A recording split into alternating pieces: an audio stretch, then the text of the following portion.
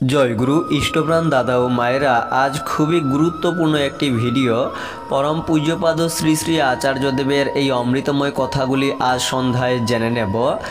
এক দাদা এসেছেন তার ছেলেকে নিয়ে আচার্যদেবের কাছে। ছেলে হাঁটতে পারে না, শারীরিকভাবে যেন সুস্থ হয়ে যায়, তাই তার আশীর্বাদ চাইছেন পূজ্যপাদ আচার্যদেবের কাছে। পরম পূজ্যপাদ শ্রী শ্রী আচার্যদেব বললেন, আমি মাঝে মাঝে অবাক হয়ে যাই, ছেলে হাঁটতে পারে না। সেখানে তোমার কোনো গুরু ভাই বোনেদের সাথে কোনো যোগাযোগ নেই।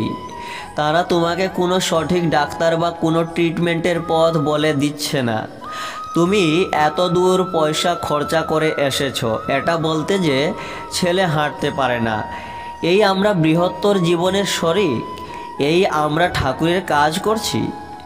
আমি চাই যে প্রত্যেকটা মানুষকে ঠাকুর যেমনভাবে শিখিয়েছেন, তেমনভাবে বাঁচুক।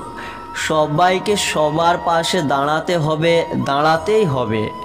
আমি সব থেকে খুশি হব কিসে জানো? যখন আমার এখানে একটাও লোক এসে তাদের আর সমস্যার কথা বলবে না ঠাকুরকে ধরে তারা নিজেরাই নিজেদের জীবনের সমস্যার পথ খুঁজে নিতে পারবে। আমি ওই দিনটার স্বপ্ন দেখি। আমি স্বপ্ন দেখি যে আমি এখানে বসে আছি। আমার এখানে ভিড় নেই।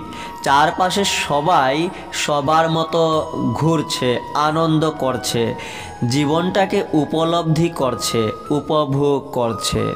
জয় গুরু।